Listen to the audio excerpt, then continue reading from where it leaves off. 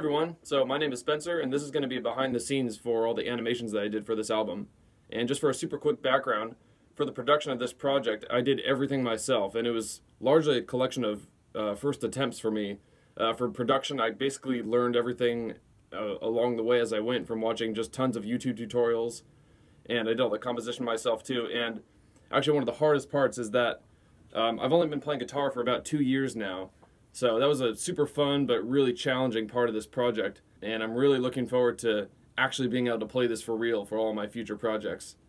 So yeah, hopefully you find this behind the scenes interesting, and thanks for checking out my music. So this is the drawing machine, and in this video I'm going to go into extreme detail about how it works and every single part of it. Uh, but before I do that, I'm going to show you all the drawings I did, uh, the actual ones from the video, and a bunch of the test sheets too. So when put into binders, this is how many drawings I've actually made on this machine, both for the original drawings for the animation and all the practice runs too. So at the beginning of this binder are all the original drawings from the video. So these are the actual pieces of paper that you're seeing in the animations. And I'll mention now too that um, I'm doing this thing on my Etsy page where if you want one of these designs originally made on this machine, you can go to that page and order one. And on this exact machine, I'll draw you a custom pattern. And uh, that's something you can check out in the description there. And I'll start with a couple patterns there, but I'll keep on adding more, and you can get them in any color and any design that you want, basically. And I'll reference back to this binder again later, and at the end I'll show you actually all the pages individually, so you can see all these patterns. So every single drawing that you see for the animations was drawn right on this table by this machine, and it's 100% mechanical, all purely powered by this one Lego motor and through all these gears, and I'll go into extreme detail about how all this stuff works. So the entire machine is powered by these simple uh, Lego power functions pieces, and it turns on just like that.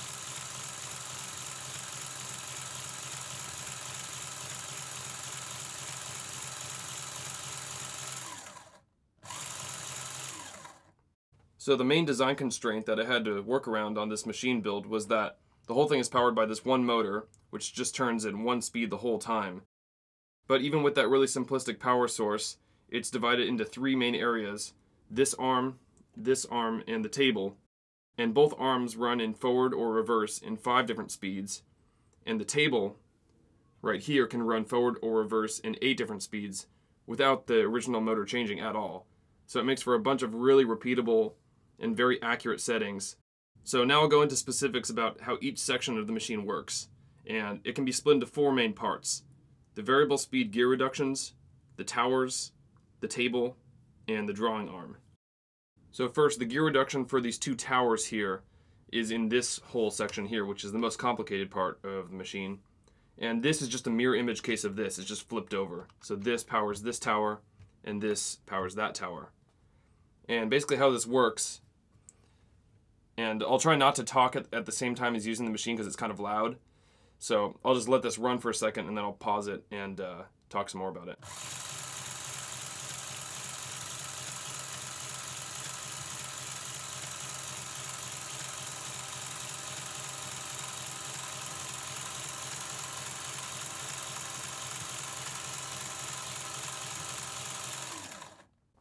So we have the battery compartment here, which is just wired to this switch just to turn it on and off. Then the motor. And this is the main axle from the motor, which drives all the way forward to this section too, which is for the table. And I'll talk about that in just a second. But so for this side, the power goes through these gears and then straight forward to this arm. And then in the stage of uh, gear reductions here, it goes slower and slower and slower. So this is the fastest speed out of 5, and this is the slowest speed out of 5. And I'll zoom in on this and play it again and turn it on again just so you can see how these are much faster than these ones. And since these are doubled up uh, for each pair too, that's where I get the forward and reverse uh, motion. So each of these are the same speed and each of these are the same speed. But in each pair we have a counterclockwise and clockwise motion. And uh, I'll zoom up there so you can see that.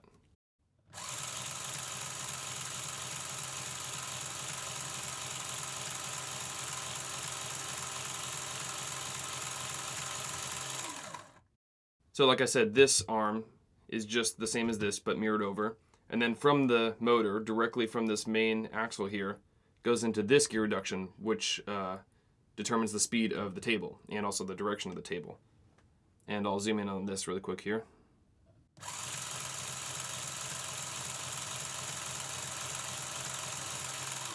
So just the same as these other ones, uh, on this side is the fastest and it goes slower and slower each time it goes through another gear reduction. And where these are doubled up forward and reverse on each one uh, to save some room because there were eight of them, I just have these going in alternate ways each time. And then the direction reversal is handled here. And I'll zoom in on this part here so you can see that too.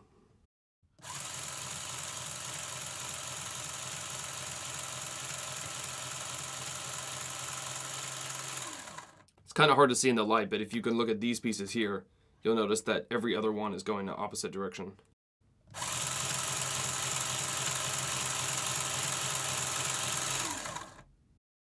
So then how I actually change the speed and direction of each of these main three parts is with these uh, universal joint uh, drive shafts here.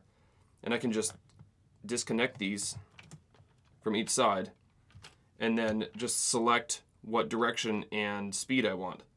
So if I want, uh, this is the fastest one, so maybe I want uh, this speed for one of the drawings. So I just put it on this one and then reattach it to this side.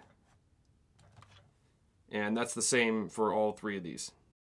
So to show you how the power goes from this part up to the drawing arm, I'll, I'll tell you first and then I'll show it. So uh, it goes through here, through this uh, arm here with the universal joints, and then it goes through this axle here, which is hooked into this uh, worm gear assembly it's a little bit easier to see on the other side. One of those standard worm gear boxes. And then from there, it goes up this axle, which is uh, connected to this rotating part here. It's not the same as this, actually. I'll talk about that later. Um, and then this axle rotates this part, which gives this drawing arm this uh, radius on this side. And I'll talk about that in a second. And the main reason I used worm gears here is because it makes for way less slop. Even though this has a little bit here, once it is in motion, it always uh, kind of keeps on the same side. Uh, the worm gear just gets a lot less slop in the system if I just use regular gears. It would be a lot uh, less accurate. So here it is in motion.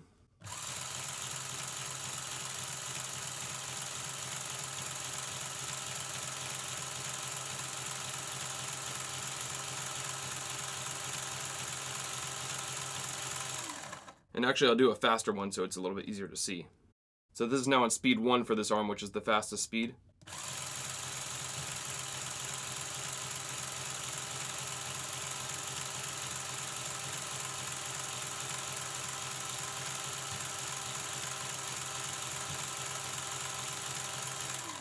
And then moving on to this part, I guess, you can see here how this detaches and I can select whatever radius I want for this arm and the other one. Both of these, like I said, are just mirrored, so I only have to talk about one of them. So basically, if I wanted no radius on this part, and basically have the arm just standing still, I would select this first one. And as you can see, um, this will still spin around, but the arm doesn't move at all. And in the same way, I could just disconnect this here, and it would do the same thing.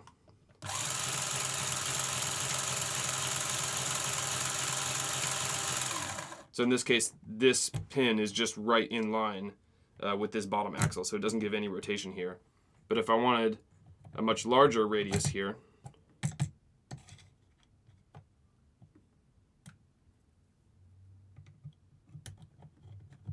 it's a little finicky to do with one hand, but so this is going to be a much larger radius now you'll be able to see.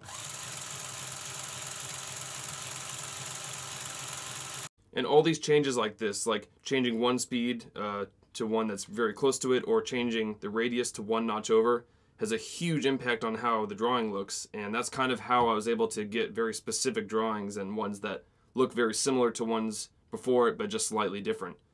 And uh, I'll show you more examples of that in the binders once I uh, go through all the other details about this. So then moving on to the table, I'll uh, take the drawing arm off so I can show you how this works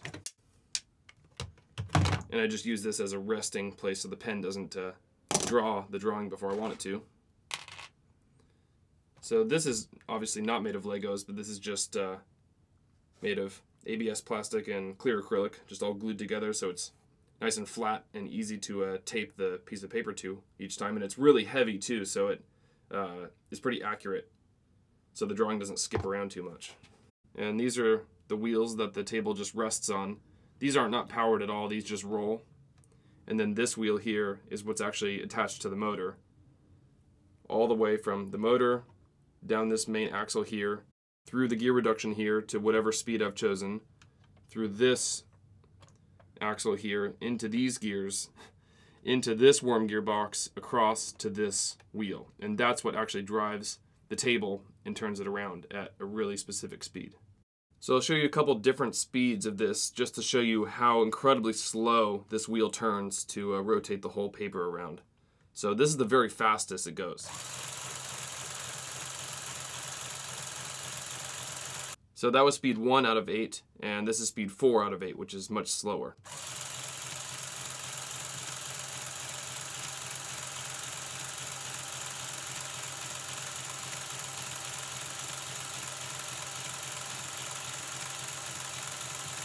You could probably barely see that moving there, and speed 8 is almost just looks like it's standing still.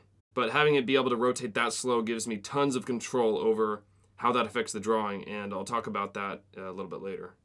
And for the actual drawing arm, it's made of the same uh, clear acrylic as the table. And I just drilled all these different holes so I can have a really accurate distance away from the table. And I'll show you how that affects it in just a second. And then this is the part that you see in all the animations going back and forth and it's designed to hold these uh, Pilot G2 uh, refill cartridges. And those fit perfectly just like that. And a little bit of tape on the end just to have it not fall out. So that's what you're actually seeing in all the animations from this angle obviously. So to explain how these drawing arm settings actually affect the drawing um, if I have a, a low value here so the pin would be here and here. This whole arm would move this way, and the pen would move outwards from the center and it would make a larger drawing. And if I want a smaller drawing of the same exact design without changing anything else, I would just have this pin maybe be on a hole way back here and way back here on this side, which would move the whole assembly this way and closer to the center of the drawing, which makes it smaller.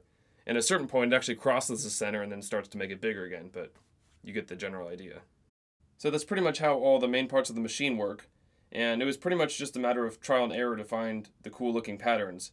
And I didn't really anticipate it, but it actually turns out that most of the patterns that this is capable of drawing look terrible. Um, like 90% of them are just kind of random squiggles, but actually it makes a decent amount of sense because uh, I figured out that this machine, in theory, could make about 125 million unique shapes. based on all the different settings because um, with speeds and directions, it's 10 times 10 times 16. And with the pivot settings, that's times 40 times 40 times 7 times 7. So it's just a huge amount of possible shapes, and you just have to figure out what settings do what to the drawing to kind of, uh, you know, fine tune it and get it to do what you actually want it to do. Uh, but, you know, it was kind of a learning curve to do that, but after a while I figured it out, and uh, that's what you see in a lot of the animations. I'm just making very strategic changes to the design, making it slightly more dense or slightly more spread apart, or uh, you know, changing things very uh, strategically like that. So now I'll go over some of these test sheets and just kind of show you how I uh, kept track of what settings I needed to do to make what shape. And that was done with these little codes in the corner like this. And you'll see every single one of these sheets has a different code and that tells me uh, where to put the settings on the machine to go back and make that shape exactly how it was before. Um, and obviously on these test ones, uh, in the animation, this is one of those full donut shapes, uh, but I only have to do a little bit of it to realize, you know, what kind of spacing I want and how dense it gets. So I didn't actually have to waste the time to do the whole thing. And I should mention too that uh, you might be surprised at how slow this machine actually works. Um, you probably saw it a little bit there in the first part of this video. But a drawing like this could easily take an hour and a half to do the whole thing. And I'd say most of these drawings uh, took between 30 minutes and two hours to do. And some of the really dense ones are extremely slow. So it's just kind of a matter of patience and letting the machine do its thing, and hopefully no mistakes happen along the way. Uh, but for this one, so the code 1cc 2cc 8cc 2 over 26 3 over 31 and blue. So obviously blue is just the color of the pen for that drawing. And these three categories are the speed and direction of the first arm, the speed and direction of the second arm, and the speed and direction of the table. So for this one, 1 cc is 1 counterclockwise for this far section here, for this tower. The second one is this one, and then the third one is this middle one, which powers the table. So speed 1 counterclockwise, speed 2 counterclockwise, and speed 8 counterclockwise. So, like I showed you, that this is the slowest speed for the table. That's what was required for this drawing uh, to make it this densely packed. And then these two are the settings for the arm and the rotating part that the arm fits on. So 2-26 or 2 over 26 is for this side here. 2 refers to the second hole from the middle, so the smallest radius for this rotating part. And then 26 is the 26th hole uh, from this side, and that gives you both of those values. And the same thing over here, 331. It's on a different setting now, but that's basically what each code means. And that gives me every single detail about where the machine needs to start in order to reproduce this exact same drawing as many times as I want. And the only other um, code that I needed just on some of the drawings was this sort of thing, which tells me the direction that these arms need to be facing when the drawing starts, which actually makes a big difference uh, for some of these designs. And a way I can make a drawing drastically different with only changing one setting is by changing the direction of the table. So I'll flip back and forth between these. They should be on the same page, but whatever. So take a look at that drawing, and then this one. So they look pretty different. They do have some similarities. And we'll look at the codes and see how similar they are. Except for the color, we have 326, 231, and this. 326, 231, same direction. 1cc, 1c. 1cc, 1c. But the table speed on this one is 1, speed 1 clockwise. And it looks like that. And this one is speed 1 counterclockwise. And it looks like that. So the only difference is that this table is spinning counterclockwise and the other one is clockwise.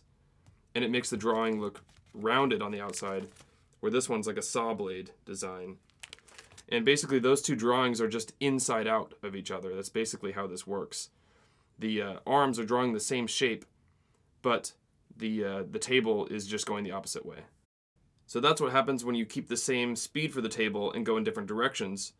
And then for just changing the speed, basically the speed of the table is how dense or how loosely packed these shapes will be, even though it's the same pattern. So I'll go between these a couple times, but take a look at these. So this is this spread out, and it gets slightly more dense, slightly more dense, and even more dense. So we'll see uh, 1cc, 1c, 6c, 5c is the only thing that changes, 4c, and 3C. So it's just the speed that the table is rotating at. And basically, uh, what this does is if the table had no rotation at all, the arms would just draw this first oval forever. It would just trace the same exact oval. Uh, that's just how this works. And then the table basically makes this, you know, radially extruded around so that it's basically a spiral. So by the time the arms want to meet up again, the table has just shifted over ever so slightly so it doesn't line up again and it draws kind of a spiral oval right next to it. So by that logic, basically, the faster the table is rotating around, the further apart the arms are going to be uh, from the next time they get back to that starting place, if that makes any sense. So if the table's rotating really fast, the arm won't be able to catch up and be as close as where it started. So then we slow down the table a little bit. And when it gets back to that same start of the oval, it's much closer. And then you slow down the table even more, and it gets more densely packed, and then even more. And I think the reason I only went to six out of eight is because eight would just be like a solid blue donut. It would be so close that it would actually be closer together than the width of the line that the pen draws. So some of these just get way too dense, but when you get this kind of gradient where you have multiple layers of density, where it's totally solid blue and then it kind of spreads out from there, it gives it a really cool effect. But even though this one looks a lot denser than the other ones, take a look at this oval shape. It's exactly the same size and shape no matter how densely packed it is. So that oval's there, here, here, and here. It's the same thing. It never actually changes. It's just it gets pushed together more and more as the table slows down. And to get these kind of uh, thin, pokey shapes, what I did is just disconnect one of the arms. So I disconnected this far one and just had this moving as well as the table moving. And you get this kind of shape. So X just means that it's disconnected speed 1 and speed 3. And I'll show you some of those.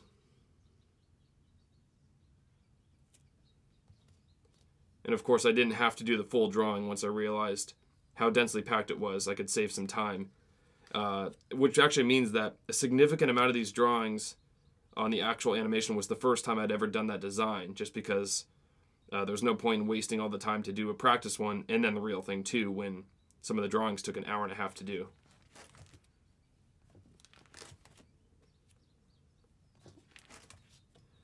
And then uh, when we get to some of these other more abstract designs, like this one, how I did that is, you know, most of these other ones, I'm only really ever using speed 1 or 2 generally. That's the most common for all these. It's either, you know, 1 or 2 in either direction. But for these ones, I actually use speed 1 and speed 5. So it's really slow on one of the arms, and it gives you kind of a less symmetrical pattern.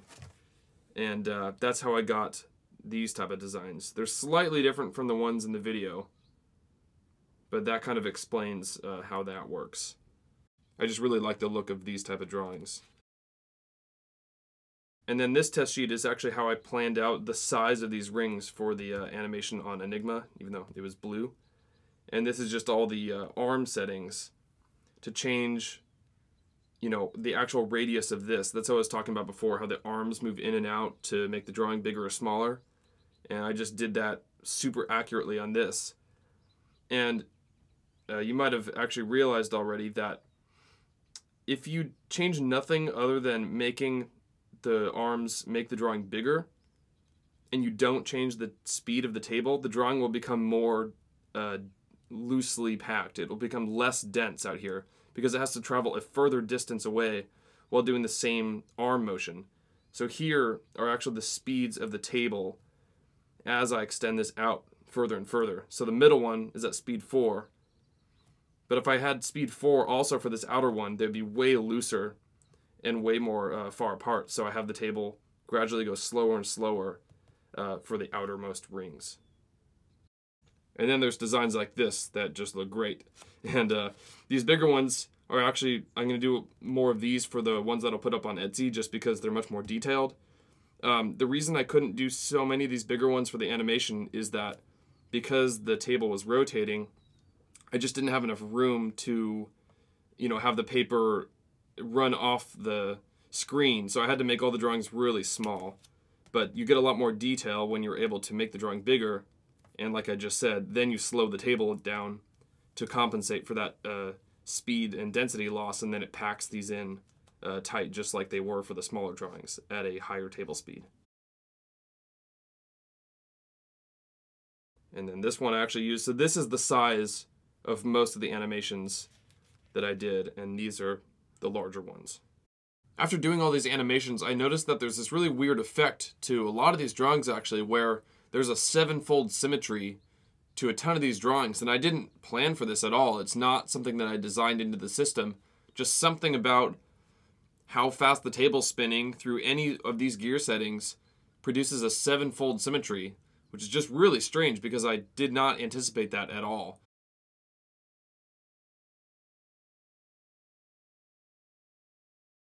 So this drawing machine that I've been showing you is actually the third version of this machine that I've designed.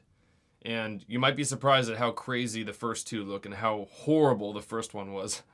Um, but in this picture here, so this is the second version of the machine, which is really similar to the third one, just kind of a worse version of the third one.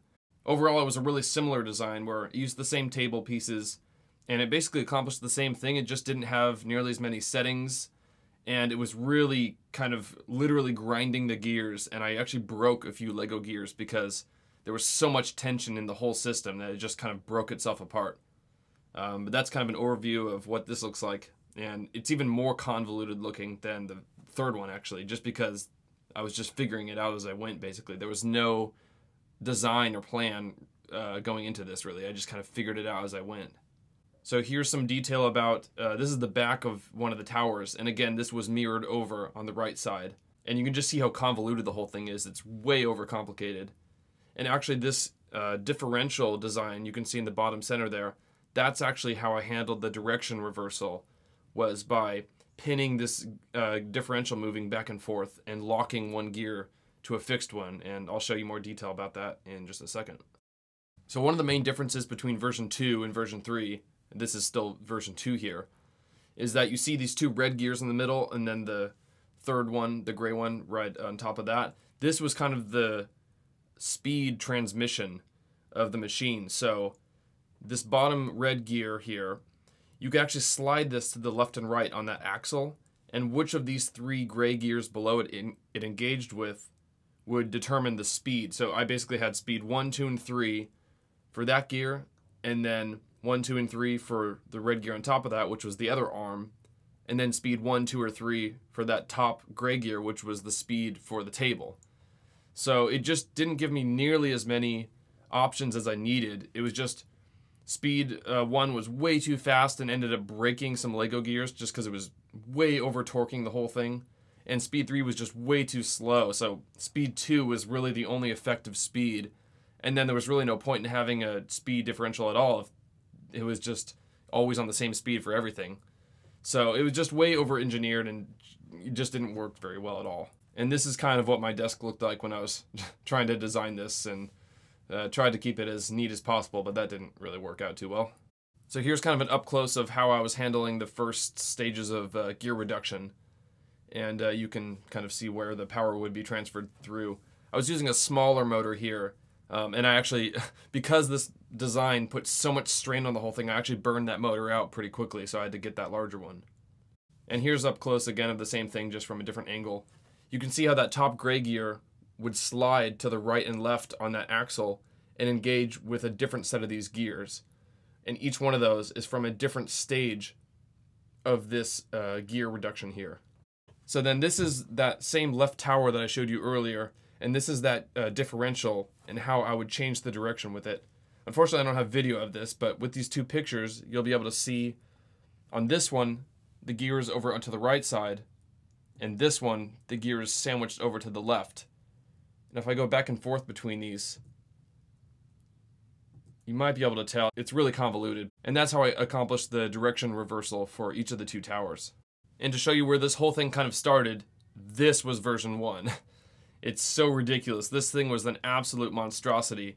It weighed probably 60 or 70 pounds and was made out of particle board and plywood and a bunch of hand cut gears. And I'll show you more detail in a second. But each of these gears was cut by hand from sheets of ABS plastic using a gear stencil on a bandsaw. And I individually cut and sanded every single tooth for, I don't know, like 20 or 25 gears. It was ridiculous. It took so long.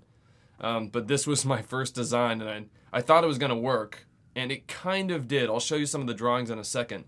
It did work, but it was just way too heavy and and just ridiculously convoluted. And here's some up close detail of some of those gears. I did a pretty good job. They meshed pretty well, but the whole thing just had way too much grinding and slop, and it was super noisy and just really, really heavy. And there was no way I was going to get any of the Lego motors to actually turn this thing around. It required so much force just to get anything into motion. And that's one of the main designs that I wanted to change with version 2 and 3. And I actually accomplished with 3 where there's no tension anywhere in the system. It's all based on gear reduction, so the motor can just spin freely the whole time and there's no strain anywhere in the whole system, which is the opposite of what I was doing here. And here's a video I took just showing you how jumpy and hard to move this whole thing was. It did actually make some cool patterns, but it was just way too jumpy and nothing was smooth at all.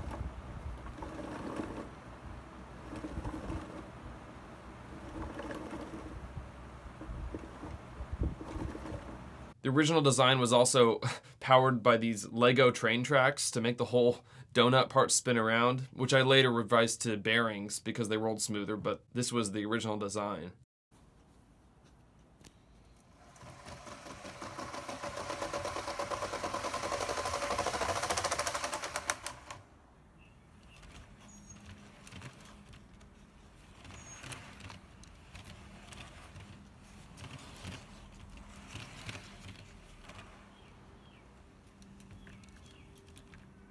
So you saw in that previous video clip where the track was kind of moving up and down. So in this one, I uh, bolted the tracks down securely to the base. And then here is how I determined where each uh, gear would have to be centered to actually mesh with the proper other gear size. And it was this whole convoluted system that I was trying to uh, make work. And I sort of did, but not really. So here's mounting the ABS plates on it to hold all the gears. And this is how many gears I cut. And actually it was more than this. I cut this entire set out of wooden gears first, and then I realized that the plywood was really cheap and the gears, the gear teeth were breaking off, and it didn't really work. So I redid the entire set out of plastic, and even that ended up obviously not being good enough for this project. So here's those gears a little bit more finished with the center holes drilled. So here's some of the test drawings that I did on that first giant uh, wooden machine. And as you can see, it makes some cool shapes, and it did actually accomplish making some of these uh, really complicated shapes. But the whole thing, if you notice, I'll zoom in closer, it's just really kind of wonky and there was so much slop in the gears and there was so much weight being thrown around that the whole thing just uh, was really kind of bumpy and it didn't draw anything smooth. I did make this one where I colored it in with Sharpie. It looks kind of cool, but I wasn't going to do that for all the drawings, obviously. Here's some other ones. A really, really bad circle. you can see where, you know, there was a design, it just wasn't executing it very well.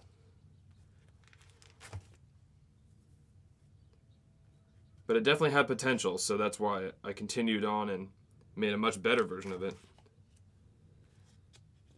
But I was still able to change the gears accurately and get different point symmetry, you know? Like this one is 3, and, well, this one's also 3. This is one of my favorites, uh, the really wonky circle oval type deal. Yeah, that was a keeper. And this one just drew this kind of double lima bean shape forever. Yeah, definitely some keepers here. This was actually from uh, version 2.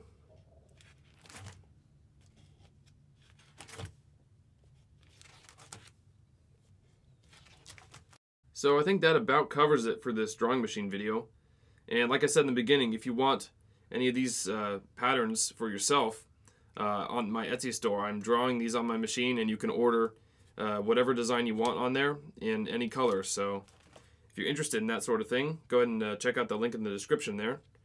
And now just at the end of the video, I'll quickly go through and show you every page of both of these binders and you can pause it on anything if you want to check that out just so you can see actually every single test sheet that I did on this and feel free to pause it where you want. And if you found any of this stuff interesting, uh, please subscribe to my YouTube channel because I'm going to be doing some more of these behind the scene videos uh, for the Rubik's Cube animation and the other hand drawn animations too. And I'll be posting those in the next couple weeks, so uh, make sure you catch that stuff as well. So if you want to check out some other things that I've made, go to my puzzle channel that's linked in the description there, and I make stuff like this.